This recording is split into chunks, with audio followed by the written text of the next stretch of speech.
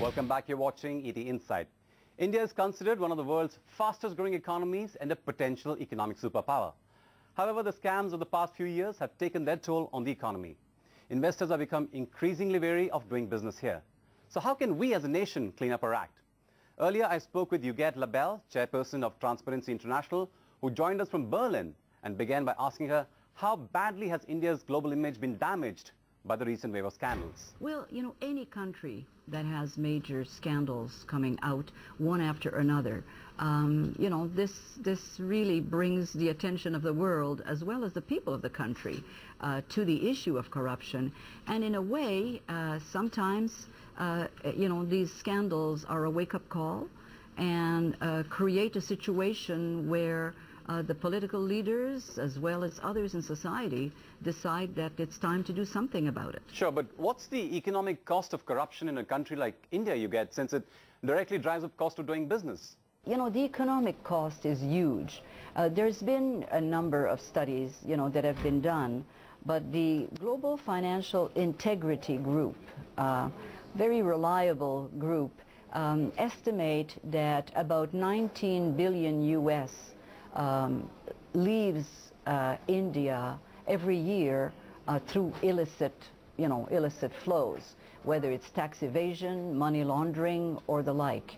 Um, and this represents about 16.6% of India's GDP. Now, it doesn't say anything about the informal economy, which is, of course, very high, um, and it doesn't really deal with um, some of the money that is lost to development. You know, the money that gets lost within the country um, when people um, take some of those resources of the treasury for their own purpose. So would you look at the new Lokpal bill as an evidence of newfound will within the system to fight corruption? And is the Lokpal bill the right approach at all? You really need in every country very strong anti-corruption institutions. And I think that bill could provide for that.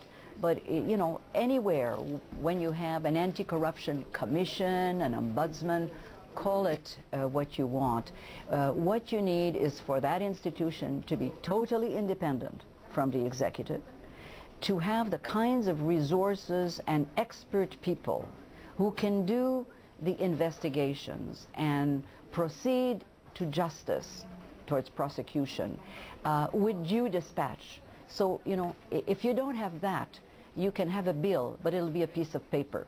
So you need to have this very, because facilitators of corruption are very sophisticated today, people who launder money from one end to the other. So you need, especially for economic crime, to have uh, teams of people who are forensic auditors, who are lawyers, who are uh, strong information technology specialists to be able to do these investigations. And of course, you need the cooperation of other countries because the money travels around the world with the globalized situation that we have. So I think this bill in, in hopefully will, uh, you know, will eventually come to fruition, but it's what's in the bill that will be very important for India at this time. Huguette what you're saying is that it's not just the law, but the enforcement of the law that's important. Now, if you look at the Lokpal bill, it actually envisages members from the civil society policing administrators. Now, is that a practical solution, that given that India is already a democracy in any case? Yes, I think that there's a lot of practical solutions in there, but I think that, you know, the, the Department of Justice, um, you need parliamentarians to come together with the civil society organizations and look at these provisions and make sure that they are not weakened. So what are the regulatory or systemic changes you would recommend to reduce corruption in India? You know, I'm not an expert on all the details of regulatory law, you know, regulations in India. I think it's very important for all that is paid to government from wherever uh, and whatever group needs to be made public and highly accessible. Now, lobbying as of now is illegal in India. Do you think A, it should be legalized and B, will it really help curtail corruption? One of the big dangers with uh, under the table lobbying is that people do not know uh, who is influencing the government. And there's a great danger uh, with very with lobbying that has a lot of money behind it.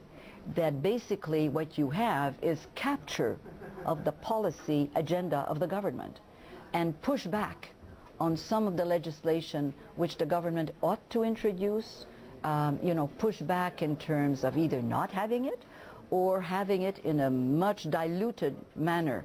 So I think that for the people, it's very important uh, that they know who are the lobbyists. And this is where uh, lobby uh, legislation, but with a public registry, uh, I think that's the part which is important because if you have legislation and uh, that it is secret that you know people register but that register is not public I think that that does not take us very Right. far. Well, that's all we have for you in this edition of ET Insight. We'll be back next week, but until then, don't forget to write in with your feedback and suggestions. Thanks so much for watching.